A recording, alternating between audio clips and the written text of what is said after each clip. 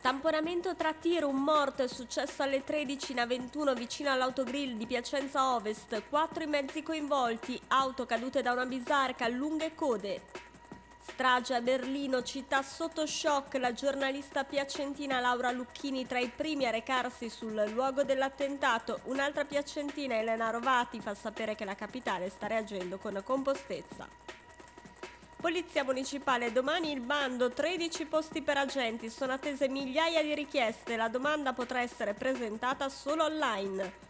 Trentenne denunciato per stalking dopo le chiamate a raffica all'ex moglie, si è presentato sotto l'abitazione suonando ripetutamente al citofono.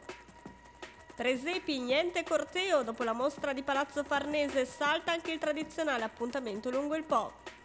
Salvato un falco con le penne ghiacciate, una signora lo ha trovato nel giardino di casa a Gragnano e lo ha affidato alle cure del centro di recupero per animali selvatici di Niviano. LPR missione compiuta, la squadra piacentina ha battuto Minsk e accede ai sedicesimi di finale di Coppa di volley.